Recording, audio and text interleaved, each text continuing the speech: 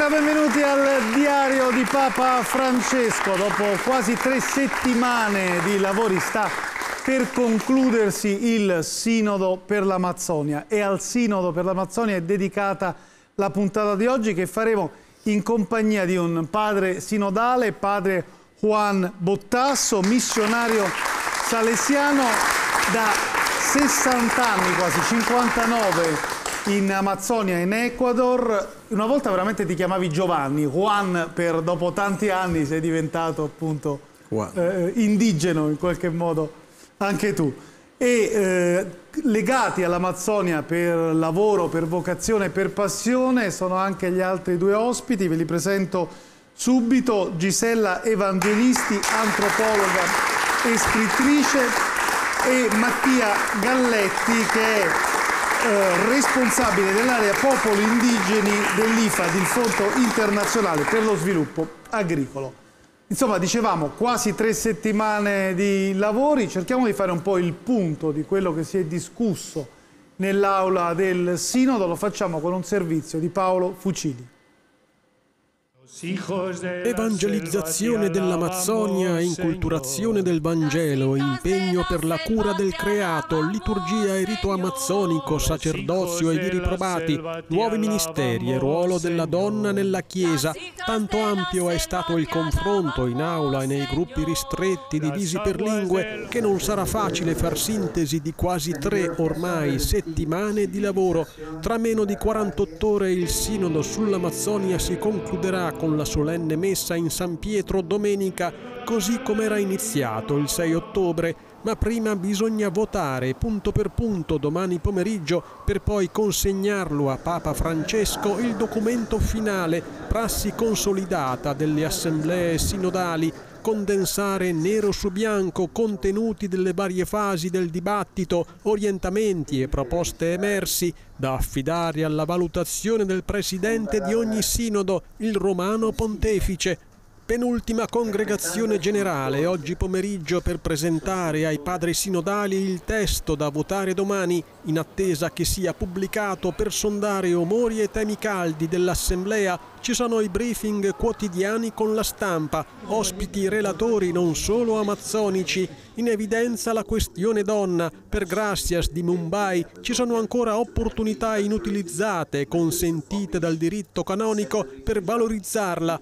ma la Chiesa sinodale non solo cammina insieme, come dice la parola stessa sinodo, decide anche insieme se non vuole zoppicare per Centellas Guzman della Bolivia, per il cardinale Stella, prefetto della Congregazione Vaticana per il clero, il celibato sacerdotale è una sfida, ma è la bellezza della vita del sacerdote, poi la nutrita agenda delle questioni ambientali, Monsignor Cenni del Suriname, piccolo paese quasi tutto foresta, in colpa del disboscamento il troppo consumo di carne dei paesi ricchi, sotto accusa accusa da parte di un'attivista brasiliana anche le devastazioni ambientali di centrali idroelettriche lungo i fiumi. E il problema non è solo l'Amazzonia, diceva il cardinale Ambongo Besungu del Congo, parlando dell'immensa e preziosa foresta equatoriale africana. Non c'è più tempo da perdere, è l'appello, e che nessuno dica io non c'entro niente. L'abbiamo detto già in sede di presentazione, tu sei ormai un prete amazzonico, un un religioso amazzonico. Quindi dal tuo punto di vista, cioè in qualche modo dal punto di vista anche dei popoli con cui condividi la vita da 59 anni, eh, sei contento di questo sinodo? Per che cosa sei contento? Per che cosa invece la gente dell'Amazzonia può essere un po' meno contenta o addirittura scontenta? Senza dubbio è stata un'esperienza incredibile questa di essere presente in un'assemblea dove si sono sentite quasi 300 vo voci che hanno dato un panorama, mi pare, completo di quel che succede, il problema ecologico, la situazione degli indigeni, le sfide per la Chiesa. A me pare che, eh, questo mi lascia contento, però mi pare che il lavoro principale comincia nel post-sinodo. Adesso cosa facciamo? Prima di tutto, nel Sinodo si sono sentite moltissime voci che denunciano quali sono i distruttori, quelli che bruciano, quelli che stanno distruggendo l'Amazzonia. La, L'analisi è molto completa Però io vorrei aggiungere una parola. I complici siamo tutti. Le grandi multinazionali, gli stati non sono altro che i nostri emissari perché la nostra cultura, la nostra civiltà occidentale è una civiltà che espande tremendamente i consumi. Da noi la popolazione cresce poco, i consumi si raddoppiano in una generazione, siamo noi che causiamo la distruzione dell'Amazzonia. Dell perché distruggono la foresta per mettere la soia? Per allevare il bestiame, lo esportano in tutto il mondo. Il bestiame per che cosa? Per la carne. Poi la gente si ammala perché mangia troppa carne. Vogliamo il legno, vogliamo i, i, combustibili, vogliamo i minerali, li vogliamo noi, non solo le multinazionali lo fanno per noi, anche se coltivano i loro interessi. Se non convinciamo la gente che il problema è questo, che siamo tutti avvolti in un ambiente che porta a distruggere quello che rimane ancora di intatto nel mondo, i poli, l'Alaska, la, la Groenlandia, il Congo, eccetera alla fine ci suicidiamo, distruggiamo la barca in cui navighiamo.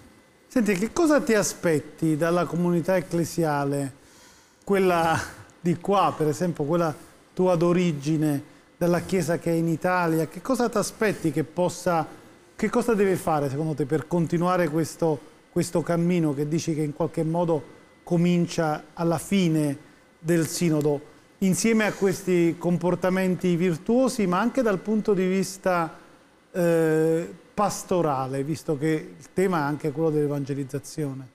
Ma prima di tutto bisogna lavorare per attuare quello che dice il Papa stesso. Bisogna ridurre le nostre esigenze e i nostri consumi. Dal punto di vista pastorale... Quindi una sobrietà. Più sobrietà. Dal punto di vista pastorale si parla molto del volto amazzonico della Chiesa. Che vuol dire? Eh, a stare attenti. Io ho paura che a volte questo volto massonico si riduca a una folclorizzazione di mm. certe azioni liturgiche, sarebbe la rovina. L'Amazzonia è una immensa regione con pochissimo clero. Non può essere solamente risolta la pastorale dell'Amazzonia con il clero, Bisogna coinvolgere i laici assolutamente, numerosissimi, altrimenti sarà una, una, zona dove il cristianesimo, se è penetrato, si perderà. E questo è un problema anche qua.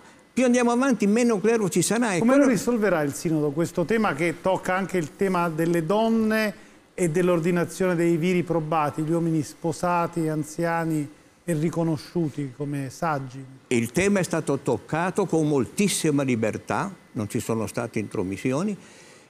Io avevo paura che monopolizzasse l'attenzione. C'è stato molto tempo dedicato a questo, ma non tutto. Per me, quello dei, dei preti sposati, sì. eccetera, è un problema che si è detto là con molta chiarezza, dovrà essere affrontato da un sinodo dove ci sia tutta la Chiesa, non solo quella quella massonica. Ma il problema non è solo quello, il problema è creare in tutte le comunità gente che creda al Vangelo, che sacrifichi eh, ore e tempo per il Vangelo, che lo faccia eh, diffondere, che eh, dia anima a queste povere comunità disperse lungo i fiumi, che sono sole, che sono abbandonate, che vivono nella foresta. E quello ci vuole creatività. Non riduciamo tutto a mettere qualche piuma a, a, a quello che celebra e a un po' di colore quello, quello, è superficiale, bisogna inventare qualcosa di nuovo, perché altrimenti... Quindi il cuore amazzonico della Chiesa, non il volto, non la parte esteriore. Declericalizziamo la pastorale. E declericalizziamo. Questo credo che non valga solo per l'Amazzonia, ma diamo ancora voce e ascolto all'Amazzonia, in particolare a un vescovo, Celmo eh, Razzari, Lazzari, vicario apostolico della regione amazzonica dell'Ecuador, perché ha raccontato al microfono di Massimiliano Cochi un aspetto importante da conoscere sulla realtà del popolo o dei molti popoli amazzonici.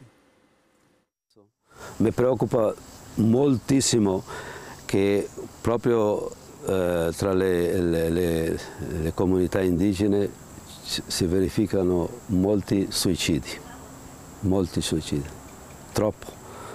E questo significa per me che non trovano più senso della loro vita, non vedono uh, uscite e, e, allora cadono in questo. No? Gli adulti vedono che i, i figli e, e, le generazioni nuove già non parlano la loro lingua, già non vogliono ascoltare eh, l'inchiccio dice la camacina che sarebbe, eh, era molto forte questo consigliare i, i, figli e questo già non avviene perché prima i, i ragazzi sono alle scuole e tante, tante, volte alla sera vanno a dormire anche loro alla, a mezzanotte, alla una perché sono lì con, con i loro cellulari e tutti quanti.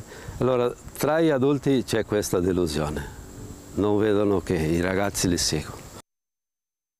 E tra i ragazzi, pur studiando, eh, avendo qualche possibilità, però quando si mettono nella città vedono che, che sono forse cittadini, cittadini di seconda categoria, eh, anche disprezzati. Mi colpisce perché questa è un'intervista che ci racconta un aspetto molto meno conosciuto di questi popoli. Io credo che il nostro sguardo nei confronti di questi popoli, uno sguardo superficiale, spesso presuntuoso, oscilli tra eh, una, guardarli come, come delle persone che appartengono a culture inferiori rispetto alla, alla nostra o al massimo rischiamo di guardarli con un po' di compassione, un po' di pietismo, non di pietà. Eh, tu hai vissuto a lunghi tratti la tua vita in, Amazzo in Amazzonia, quali sono gli stereotipi che dobbiamo buttare via? Come dobbiamo guardare questi popoli, anche un po' alla luce di quello che ci diceva il Vescovo? Beh, i popoli amazzonici sono stati colonizzati, utilizzati, sfruttati, massacrati, eccetera, ma anche soprattutto dal punto di vista culturale, cioè le poche scuole che ci sono state negli anni passati, perché adesso la situazione per fortuna sta cambiando, erano in lingua spagnola, no? O portoghese dall'altra parte.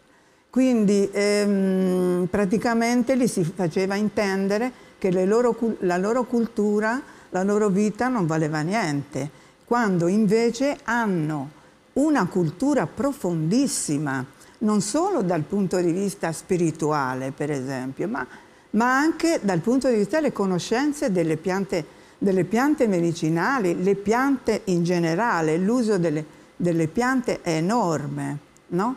Quindi eh, praticamente è stata distrutta, è stato detto che non valgono niente quando in realtà invece hanno profondissime conoscenze che adesso ci possono aiutare a andare verso il futuro. Tu li hai raccontati anche in un libro attraverso la storia di un'antropologa realmente esistita. Il libro si chiama Dalla curva del fiume all'improvviso. Eh, perché dici che ci possono aiutare? Che cosa hai visto attraverso gli occhi di quest'antropologa e perché dici che ci possono aiutare?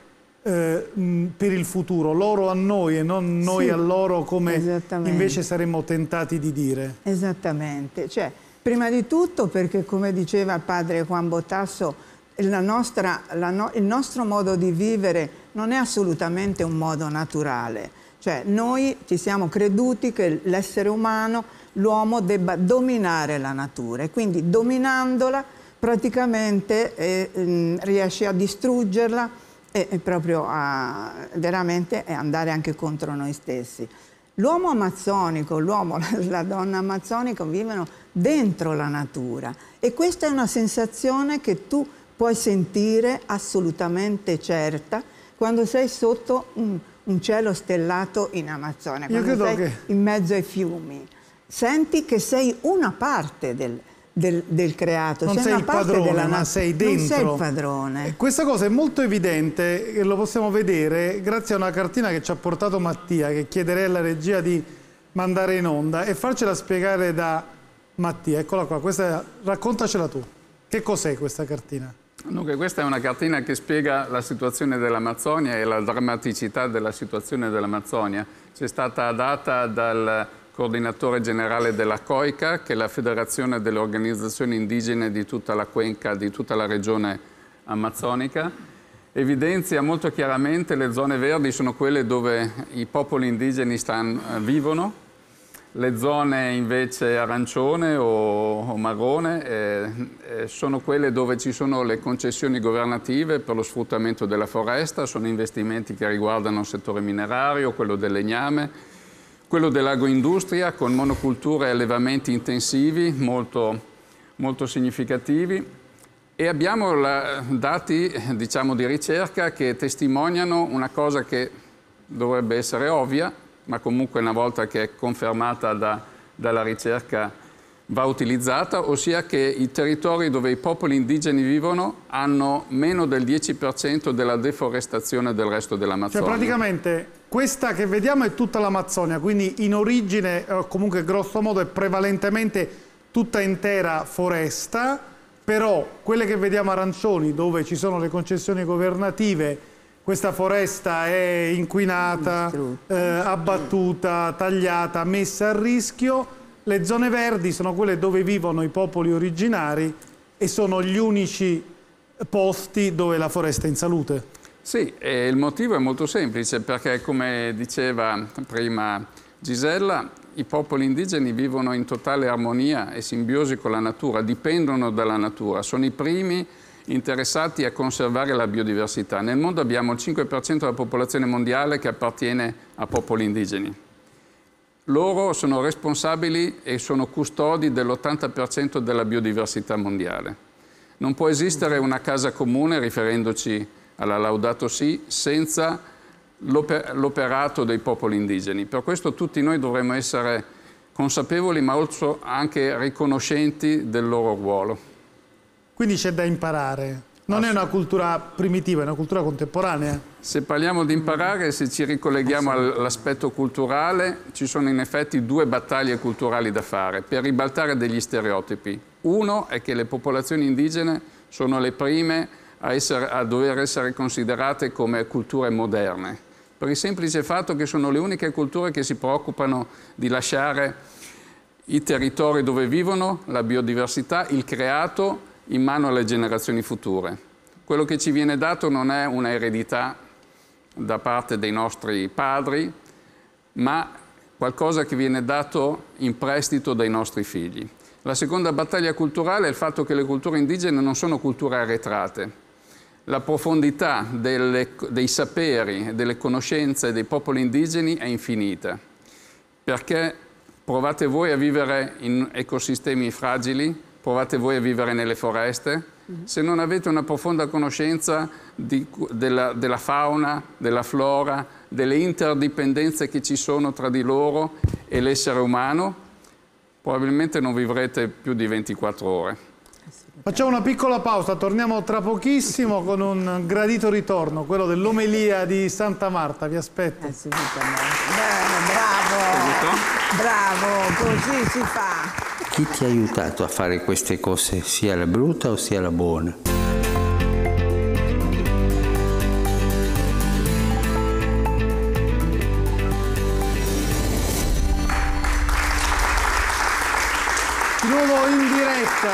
Puntata dedicata al Sinodo per l'Amazzonia, giunto ormai alle battute finali, ma questa mattina Papa Francesco ha trovato il tempo anche di fare l'omelia del mattino nella messa di Santa Marta e ha parlato di lotta interiore. Ascoltiamo le sue parole. È una lotta fra il bene e il male, ma non un bene astratto, male astratto Fa il bene che ci ispira lo Spirito Santo di fare e il male che ci ispira il cattivo spirito a fare. È una lotta, è una lotta di tutti noi. Se qualcuno di, di noi dicesse ma io non, non sento questo, io sono beato, vivo tranquillo, in pace, non sento, io direi tu non sei beato, tu sei un anestetizzato che non capisce cosa succede. E tante volte i cristiani siamo indaffarati in tante cose, anche buone, eh? ma cosa succede dentro di te? Chi ti ispira a questo? Qual è la tua tendenza spirituale di questo? Chi ti porta a fare questo? La, la vita nostra abitualmente è come una vita di strada, eh, andiamo per la strada della vita, quando andiamo in strada soltanto guardiamo le cose che ci interessano Le altre non le guardiamo. È importante conoscere cosa succede dentro di noi. È importante vivere un po' dentro e non lasciare che la nostra anima sia una strada dove passino tutti. Come si fa, Padre, questo? Ma prima di finire la giornata prendete due o tre minuti. Ma cosa è successo oggi di importante dentro di me? Oh sì, ho avuto un po' di odio lì. Eh? E ho sparlato lì. Ho fatto quell'opera di carità. Chi ti ha aiutato a fare queste cose, sia la brutta o sia la buona? E farci queste domande per conoscere cosa succede dentro di noi. Dalle volte, con quell'anima chiacchierona che tutti ne abbiamo, sappiamo cosa succede nel quartiere, cosa succede nella casa dei vicini, ma non sappiamo cosa succede dentro di noi. Che, che, è successo dentro di te durante queste tre settimane di sinodo? C'è stata una lotta interiore, non so se tra bene o male o che cosa. Ma la lotta interiore non l'ho vissuta durante il sinodo, l'ho vissuta nei 60 anni che ho vissuto partendo per le missioni. È stato un cambiamento direi totale, profondo, perché sono partito con l'ideale dei missionari di allora, andare a civilizzare, a portare la luce, la civiltà a dei poveri selvaggi e poi uno un po' alla volta comincia a chiedersi ma sarà vero, eh, avranno solo da imparare, eh, non avrò qualcosa io da imparare anche loro e quello costa moltissimo. E che hai imparato? Ma c'è un sacco di cose, la, la, l'abbiamo già sentito prima, hanno una conoscenza della, della natura del, incredibile in confronto a noi, ma poi sono capaci di vivere insieme, vivere con poco, eccetera. E voi che avete imparato, qual è stato il cammino interiore? Che è successo dentro di voi in Amazzonia? Mm, in Amazzonia eh, per me è stato entrare nel cuore della terra, il cuore. Mm? E quindi parte della natura, ma poi la bellezza di pensare per esempio le malattie sono, ehm, sono originate dalla mancanza di armonia con le altre persone o con la natura. La persona viene curata integralmente. Eh, l'essenzialità nell'economia, eh, l'aiuto reciproco, la solidarietà. Ci sono tantissime cose da cui imparare. Mattia? Ma io posso fare riferimento al fatto che ho potuto lavorare con i popoli indigeni in diverse zone, non solo in Amazzonia. E tutte le volte ho avuto in pratica il sentimento di essere interrogato.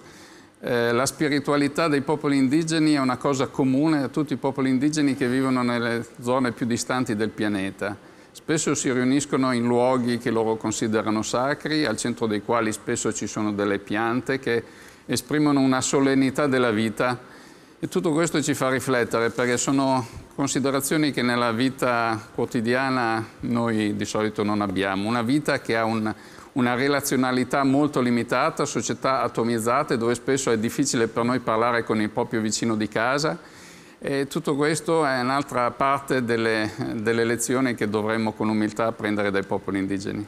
Grazie davvero per tutto quello che ci avete raccontato. È il momento del rosario in diretta da Lourdes. Noi ci rivediamo lunedì alle 17.30 quando il sinodo sarà concluso. Sentiremo quello che dirà Papa Francesco, ma parleremo anche del documento finale, delle conclusioni un po' del sinodo. Buona domenica. Vi chiedo di accompagnare con la preghiera questo evento ecclesiale affinché sia vissuto nella comunione fraterna e nella docilità allo Spirito Santo, che sempre mostra le vie per la testimonianza del Vangelo.